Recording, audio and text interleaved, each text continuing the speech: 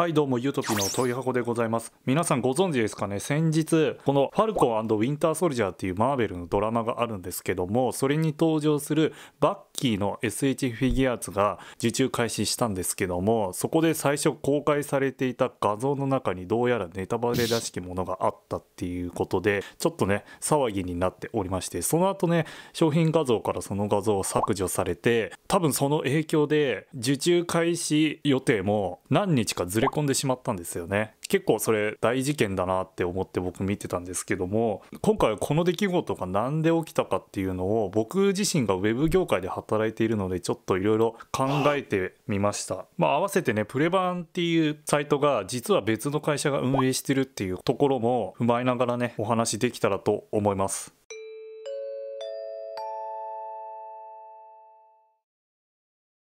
今回起きた事件について一応詳しく説明するんですけどもその前にもしかしたらこの話がファルコンウィンターソルジャーのネタバレになる可能性がなきにしもあらずなのでその点だけご注意いただいてもし見たくない聞きたくないよって人はファルコンウィンターソルジャー全部見終わってから来てください。で今回公開された SH フィギュアーズのウィンターソルジャーの画像の中になんとこのキャプテンアメリカの盾を持っているウィンターソルジャージャーの画像があったんですね。でファルコンウィンターソルジャーってキャプテンアメリカっていうヒーローを誰が継ぐのかっていうのが結構大きなテーマの一つになっておりましてもしかしたらそのフィギュアーツの画像がドラマの後半とかでウィンターソルジャーがキャプテンアメリカを継ぐんじゃないかみたいなことをネタバレしてんじゃないか思われてたんですよね。で商品情報が公開された多分数時間後とかに何のアナウンスもなくプレバンドページからその画像を削除されました。ただもう時すでに遅しでいろんな人にもその画像出回ってしまって Twitter とか Instagram とかまあいろんなサイトとか見れば出てきちゃうんですよね。収集はつかない感じになってましたよね。まあ果たしてあれが本当にネタバレなのかっていうのはちょっとわからないですけども少なくともこの対応は普通ではないと思うので何かあったんだろうなってね思いましたね。しかも商品情報公開された時って第1話配信と同時に受注開始みたいな感じですごい押されていたのでよっぽどのことがない限りそのスケジュールずらすことはないと思うんですよ。そしてよっぽどのことがあったからスケジュールをずらしたんだと思うんですよね。だから結構やらかしてんなって思ったんですけども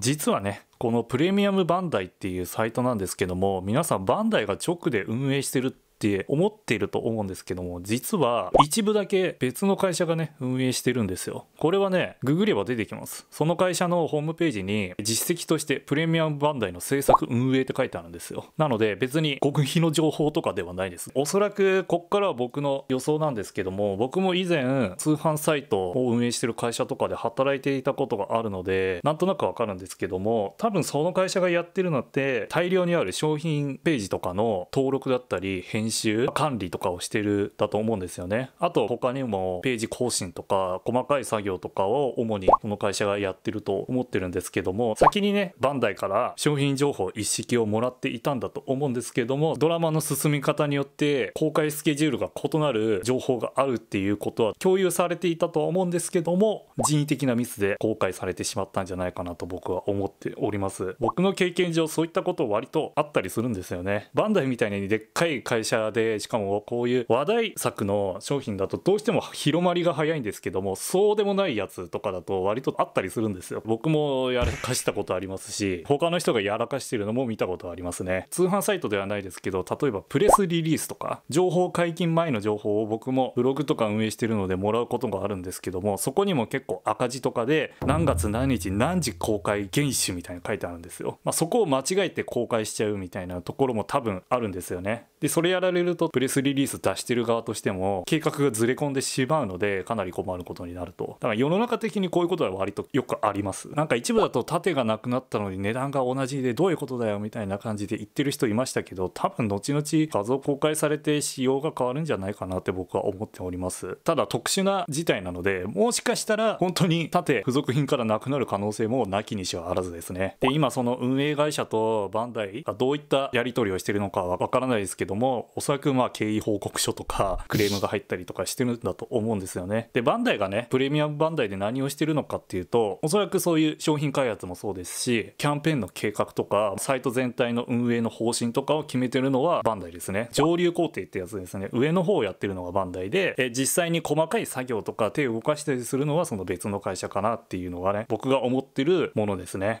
まあこういったミスがね頻発してしまうとバンダイとしてもその会社を切らざるを得なかったり消費者僕らとしても不信感を抱かざるを得ないですよね。なのでもし今後続いた場合はねその運営会社が変わるっていう可能性ももちろんあると思います。そしてその会社がねおそらくサーバーとかもね管理してんのかな。多分サーバーに関してはバンダイと共同で運営か管理かしてると思うんですよね。バンダイの採用サイトかなんかでプレミアムバンダイのシステム設計みたいなのが書いてあったんですよ。だから設計してるのはバンダイなんですよ。まあ、今後変わるかどうかはね分かんないですけどね運営会社が。運営会社の住所を見ると浅草だったんですよね。浅草ってバンダイの本社があるところなんですよ。近いんですよね。で主要取引先もバンダイ関係の会社だったんで、まあ、かなり取引のある同士の会社なんだなっていうのがねよく分かりました。そういった関係のもとで運営されているのがプレミアムバンダイだよっていう感じですね。なので今回の事件に関して、まあ、ウェブ業界で働いてる僕個人としてはちょっと許してあげてって感じなんですよね。僕もやったことがあるのでちょっとね皆さん優しい目で見守ってあげればなと思っております。そして僕プレミアムバンダイに一番言いたいことは